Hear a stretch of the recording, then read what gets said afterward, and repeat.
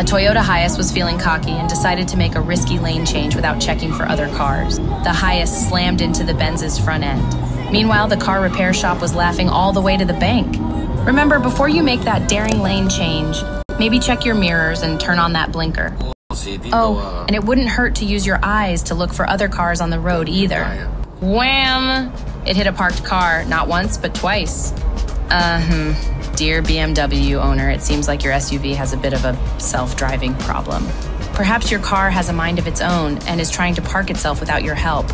Maybe you should let it know that you're the one in charge here and that it should leave the parking to you. Or you could rename your car Bumbling Mobile Wrecker since it's got such a knack for running into things.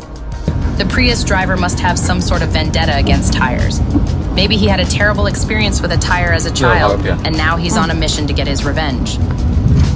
The incident occurred on a highway in Taoyuan, Taiwan. A Bentley tried to pass a Toyota, but the Toyota driver didn't notice. The Bentley bounced into the Toyota, which in turn bounced back into the Bentley. The bouncing continued until the two cars came to a stop.